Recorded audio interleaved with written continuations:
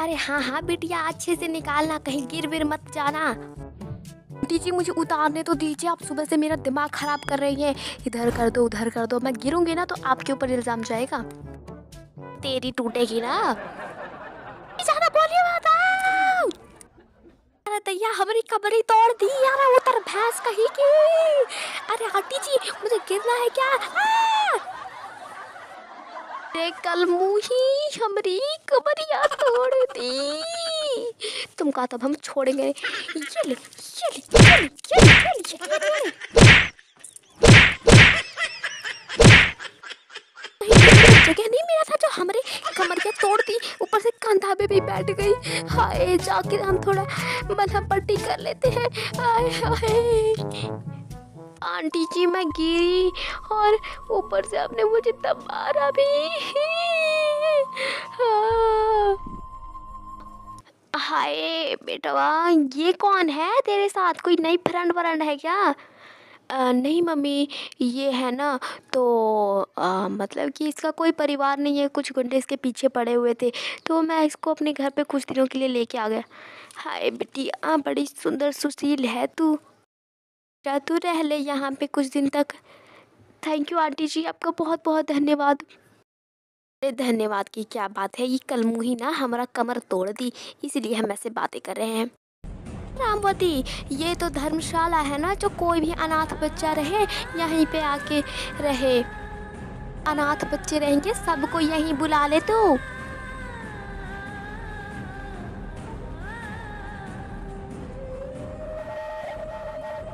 बताओ, मैं धर्मशाला फ़ोन करती वहाँ पे और भी बच्चे हैं जो अनाथ अनाथ बच्चे हैं। उनको भी बुला लेते हैं हम इस घर में रहने के लिए। तो ये कैसी बातें कर रही है? ये मेरा घर है तो मैं जिसे रखना चाहूँ, उसे मैं रख सकती हूँ। कुछ दिनों की मेहमान है तो मेहमान बन के ही रहे। देखो, ये धर्मशाला नहीं है, मैं जब तक रहूँगी, तब तक ऐसा कुछ नहीं चलने वाला। बस कीजिए, ये क्या बातें कर रहे हैं?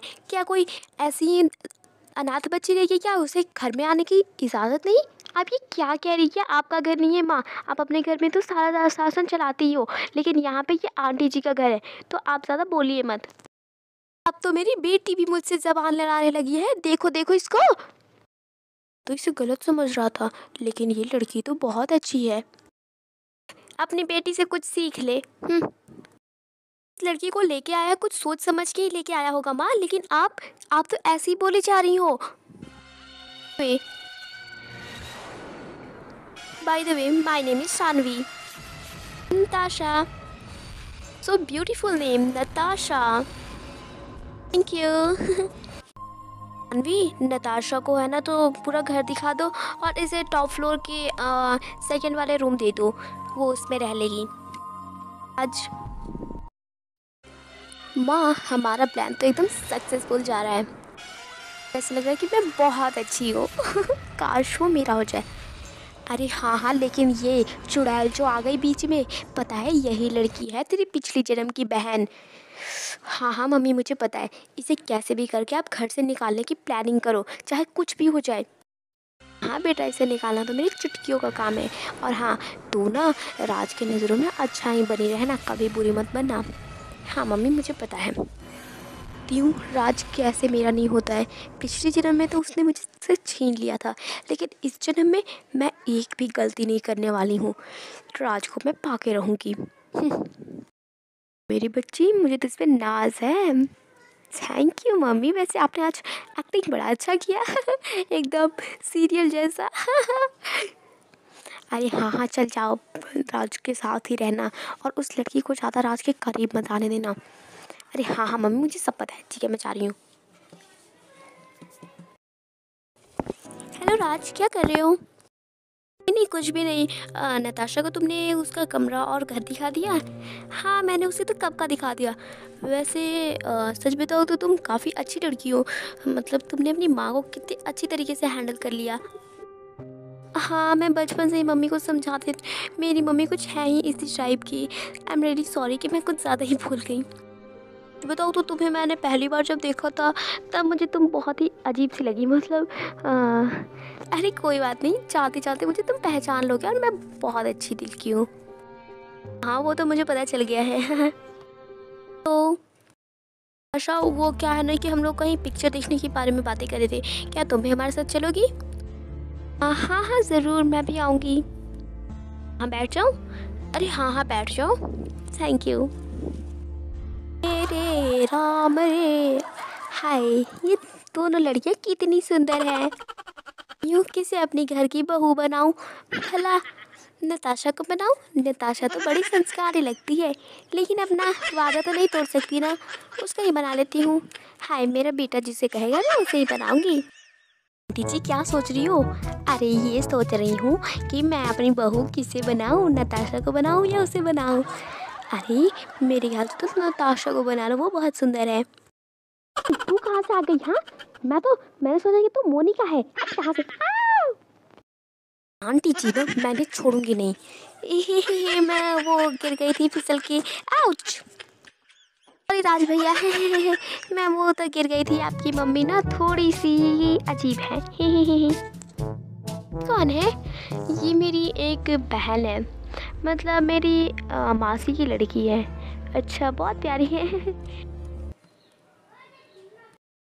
लो आंटी जी आइए बैठिए। ओए मैं तेरे घर यहाँ पे मैं बैठने नहीं आई हूँ समझी? बैठने नहीं आई है तो आप जा सकती हैं। देखो मैं तुम्हें ये पैसे दे रही हूँ। ये पैसे पकड़, से निकल ले। आंटी जी, आपको कोई गलत फहमी हुई? देख, तुझे पैसों की ज़रूरत है, मैं तुझे जितना पैसे तू मांगेगी उतना मैं दूँगी। तुझे जितने घर चाहिए, जितना बड़ा घर चाहिए, मैं उतना बड़ा घर दूँगी। बस तू ये घर छोड़ के निकल जा। जी, आंटी जी, आपको मुझसे प्रॉब्लम क्या है? आप मुझसे बड़ी हो, इसलिए मैं आपको रिस्पेक्ट दे रही हूँ। नहीं तो आप मेरे लिए कोई मायने नहीं रखती। समझ रही हैं कि मुझे पैसों की ज़रूरत है? रिश्वत दे रही हो आप मुझे? जी नहीं, मुझे पैसों की ज़रूरत नहीं, मुझे एक अच्छे से परिवार की ज़रूरत है जो कि मेरे पास नहीं है। आपके पास ज़्यादा पैसे हो गए हैं, जो आप बांटते फिर रही हो। अगर ज़्यादा पैसे हो गए हैं ना तो आप अपने पैसे अपने पास ही रखें। के पैसे नहीं चाहिए, आपके पैसे आप ही को मुबारक।